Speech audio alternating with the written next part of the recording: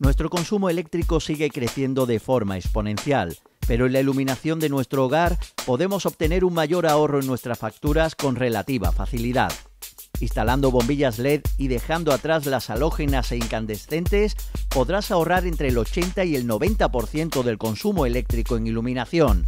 Y además, ten en cuenta que la vida útil de los LED es muy superior, 30 veces más que las incandescentes y 15 veces más que las halógenas.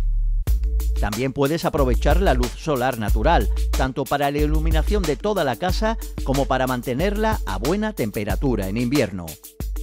Además, si utilizas colores claros en las paredes de tu casa, lograrás más claridad e iluminación de forma visual y sensorial en tu hogar. Por último y no menos importante, no te olvides de apagar siempre la luz cuando no estés en alguna habitación. Pero si hay algo absolutamente fundamental que nunca debes pasar por alto, es la tarifa que tengas contratada. Las del Mercado Libre pueden inflar tu factura decenas de euros cada mes frente a la tarifa semirregulada, denominada Precio Voluntario para el Pequeño Consumidor, PVPC. Si no la tienes, contrátala en uno de los denominados comercializadores de último recurso impuestos por el Gobierno.